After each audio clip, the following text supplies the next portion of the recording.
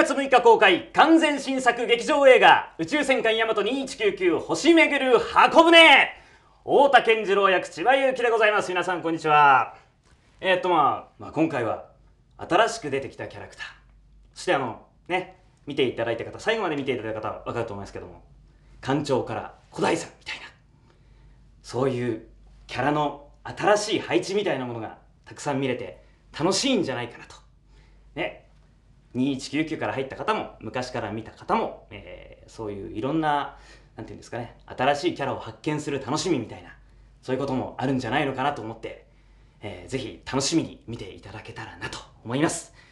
ぜひ迫力あるとなっていると思いますのでぜひ劇場でご覧ください。ありがとうございました。